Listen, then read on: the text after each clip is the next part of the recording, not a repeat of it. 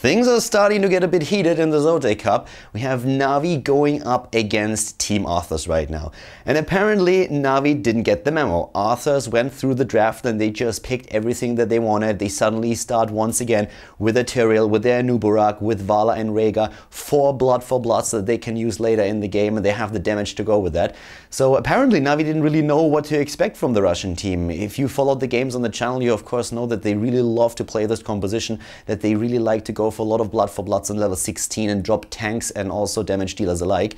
Navi either didn't care or didn't know. They went for a strong composition themselves, but they didn't really adjust to what Arthas was doing here. So a very interesting game unfolding in front of us right now, where Navi has to prove that they are strong enough to go up against this composition that Arthas has been using for quite some time now. Next game coming up here in Khaldor TV, Team Arthas against Navi.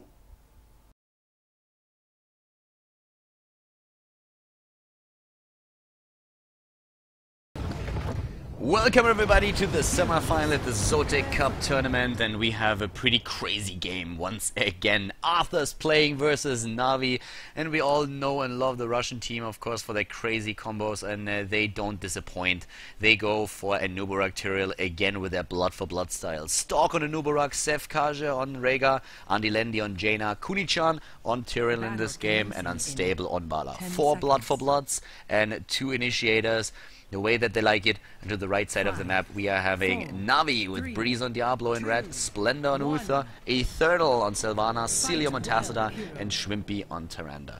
And the one thing that became very, very obvious is that the the hero that Navi really wanted to play on the to pick on the last uh, pick was Zagara. They wanted to go into more into Apocalypse, and they waited a long, long time and decided to go into Tassadar instead. Oh, Kuni-chan might die here. Nope, he gets away.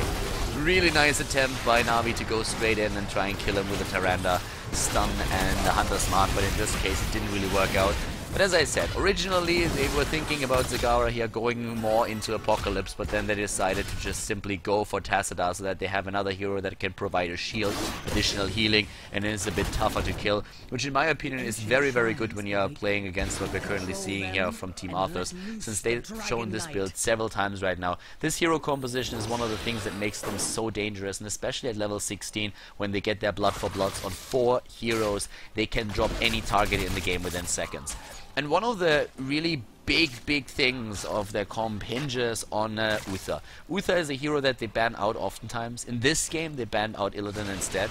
And with Splendor picking Uther immediately for the Divine Shield on level 10, it's very likely that Stalk this time is not going to pick the the uh, Locust Swarm on level 10, but instead Web Blast, which they've did against several other teams that ran Uther against them, so that they can isolate Uther with the Web Blast and then get their Blood for Blood Burst combo into blessed. play, isolate one of the targets, take it down, kill it before Uther is gone, and then move straight in and win that fight. That's the idea that they have with that draft, and we're gonna find out if Navi is able to break through that. Navi here with Soul Feast on level 1. They're currently looking at a double Conjurer's Pursuit, and of course on the map with Diablo and Tyrande, they're trying to kill a few targets, and so far, they've been unsuccessful. This is one of the strong things when you are running that build that we see for Navi here, trying to go straight into Diablo and also into Tyrande, and with those two, they're going to be able to just like kill anything on the map if they get the comp off properly. They just need to go from stun into stun. Celium apparently with a couple of problems, very weird problems at that. Apparently he's unable to move properly on the map with his hero, which sounds like a very interesting bug, something that we didn't really get that to. Apparently there's a fix for that, which is even more interesting because I had no idea that even existed, but apparently it's so common that there is even a known fix to it. Either way, Cilium is going to try and fix that. He's getting away for now, but... Or is he? No, he's not. He dies to that. Kunichan and Andilendi were already on the hunt and they take him on. First blood here.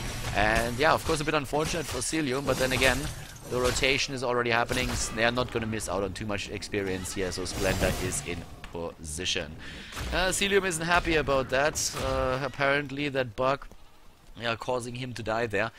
Well, you can always argue about that, of course. I'm not quite sure when exactly he started to move and when that occurred, but either way, it's not going to decide this game one way or another. We have Stalk initiating in, trying to go for Aeternal. The wave is there, and Schwimpy rotates down to the bottom lane to help out his mates.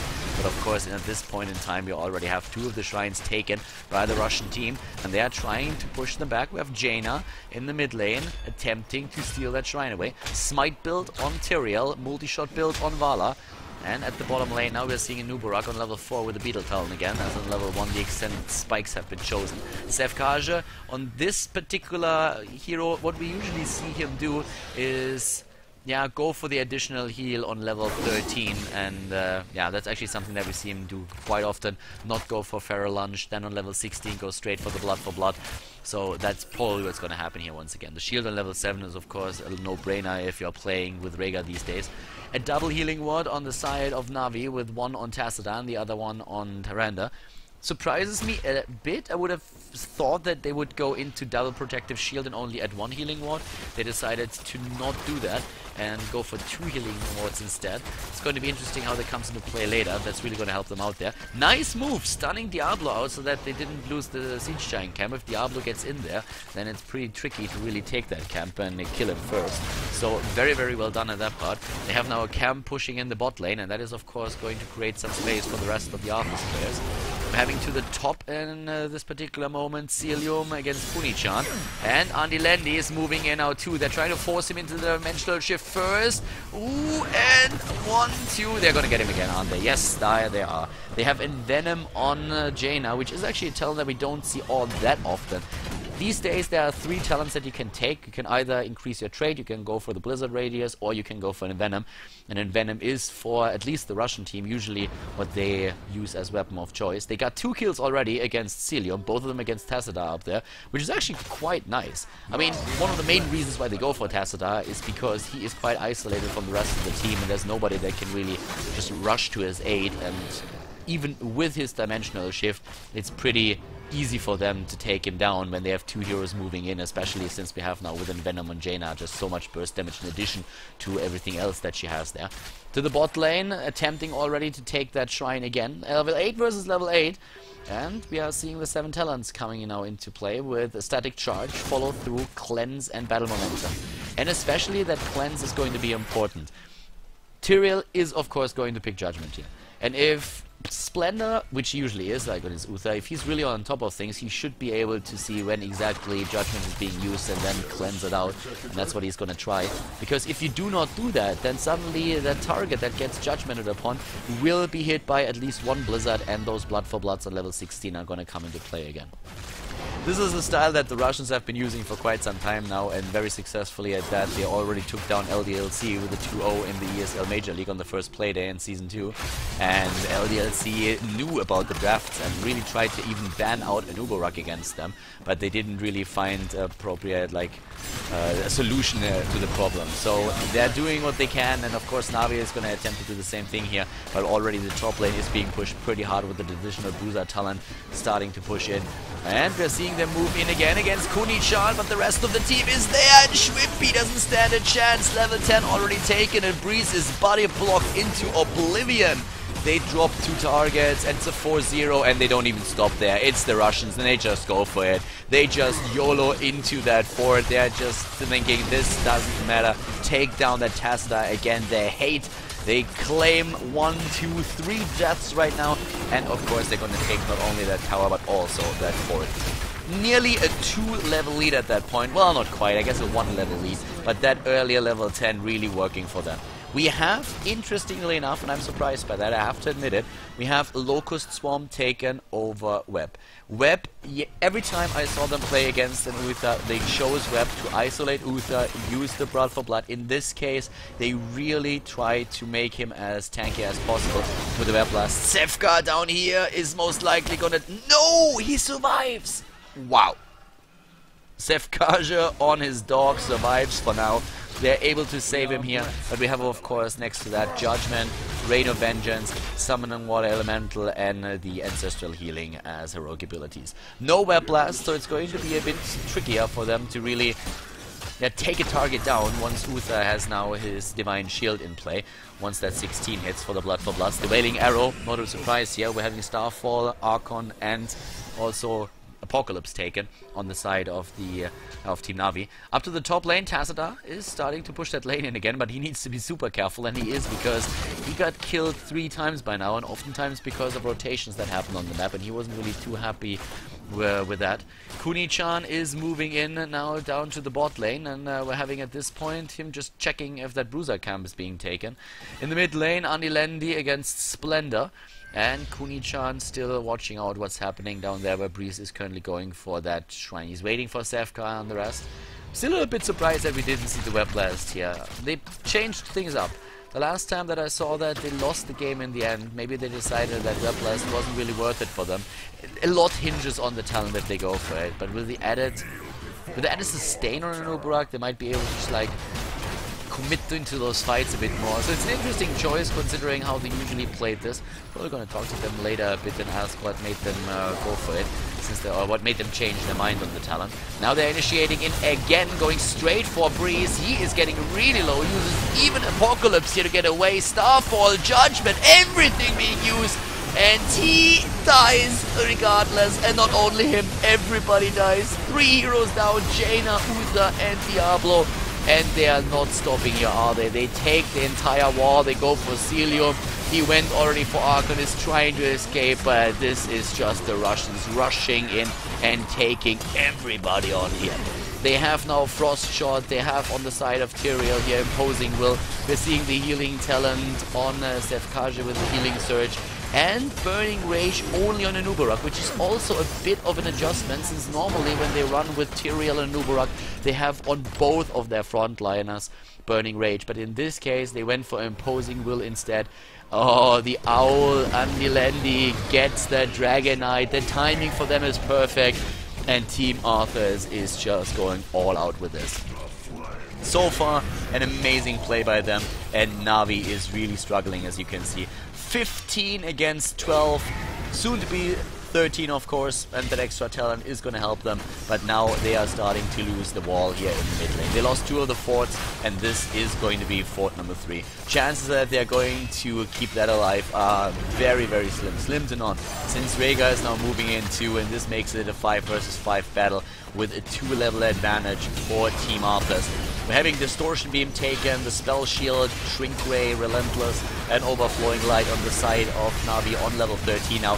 The fort is already gone. Kuni-chan moved in here, needs to go back at least for now. And yes, there we have it. Andilendi with another 10 seconds on the Dragon Knight, still attempting to take down a few of those structures. If he can just break the towers, that of course will already be great for him. With 4 seconds on the decay, he needs to be careful, but all that damage has already been dished out, and both of the towers are nearly gone. Breeze and his teammates, they're not really following through just yet, especially, of course, this level 16 is going to hit any second now for the Russian team, and that will put those Blood for Bloods into their hands. Four Blood for Bloods, that is going to be where it gets really nasty for Navi for Blood for Bloods and Northern Exposure. And now it is extremely dangerous, even for Diablo, who could be dropped within seconds. Oh, they see him, and they're gonna jump him in just a second. Here comes the stun, and goodbye Diablo. Diablo already dead, dropped within seconds, wasn't even a contest, not even close, hashtag drag, and now they're going straight for that wall. And Navi, I mean, they're struggling. What can you do at this point? They're really starting to struggle. They're three level behind, an entire talent behind, and currently it's just the Russians trying to go straight for the first key. Team Arthas is doing exceptionally well here. You need to be careful since Kuni-chan is rather low, and he also doesn't have mana left. One of the main reasons why they start to move away here, since he's dropping in the mana pool too. Couldn't really get that keep at this point, but they are moving straight for that first Siege Giant camp, stealing it away from Navi. And as long as they have that massive talent leader in this case, they can just dominate the map, have full map control, de-push the top lane, gather more experience, take the rest of the camps, get closer and closer to level 20, and make exactly that work. So right now we're having Arthas with an Anub'arak up to the top lane, making sure that with the Burning Rage and his stuns, he's just like keep pushing that lane quite easily, making sure that not even the towers are being dropped. Of course, did we have a couple of towers taken? One. One tower is all that Navi was able to take just yet. Looking at the uh, kills, four times Celium was eliminated, and there's not a single kill on the board for Navi. 10 kills against zero in this match, and it's very, very tricky right now for them. 80,000 damage against Siege already on the side of Valla. If you look at the hero damage, and especially Sylvanas is of course leading the charts here with 22,000, but that doesn't really help them if they're not able to kill their targets. We're having now with the next talents coming in for Team Na'Vi, probably gonna see, I mean, they, they are gonna have a bit more damage on level 16 with the potential Cold Embrace, at least yes, one executor. potential Blood for Blood if they go for Sylvanas, doesn't really matter what they're gonna get here. But in general, it's just not gonna add a whole lot more to the table for them. Whereas the level 16 talent on the side of Team Arthas is just putting, putting so much use into their hands. This is going to be pretty brutal. Um, we're having at this point in time in the mid lane already an attempt to take the Dragon Knight again. At least Tyrande can help out a bit with the overflowing light here and the heals. She's of course going to go... Oh! Uh, well, first of all, she's not going to go for anything. She's going to be scattered to the ground because she died there already. But with a Trueshot Aura on level 16, they are going to get a flat-out damage in total. Um, that's going to help, but we might not even see them being able to put that to use. The keep is gone. Are they really gonna go for core here? It looks like it. They just move through the keep and go straight for the core. 13 minute Dragon Knight. They're trying to go for it. And with the Blood for Bloods, they're starting to do the damage. Here comes the Apocalypse. Doesn't really do too much. And they go in. Stonk! He's about to die. Kuni-chan gets healed. They go straight for that core initiation. Uther with the judgment. Oh, sorry, Tyrael with a judgment, but 20% on the core. They might not be able to save that. It's close when it's over. Team Arthas takes down Na'Vi. 14 minute game, and the Russians advance to the final of the Zotac Cup. Na'Vi not prepared. They weren't really ready for the level 16 here. You could really tell how aggressive once again the Russian team was. Doing so much damage, jumping into these positions and just saying like, alright, we take you on right now. And Na'Vi was so pressured the entire time. And then especially when level 16 hit, you could tell that it was so tricky for Na'Vi to keep the heroes alive. So on Dragonshire, Arthas once again decide another map in their favor, advance in the bracket in the Zotac Cup. Na'Vi is out and we're gonna see pretty soon who Arthas is going to face in the next round. Guys, if you enjoyed the game today, give it a thumbs up on YouTube. If you have any questions about the compositions, about the heroes that especially Arthurs has been using here, feel free to drop a comment in the comment section on YouTube. I'm going to see you guys next time with more Heroes of the Storm content here on Khaldor TV. Bye bye.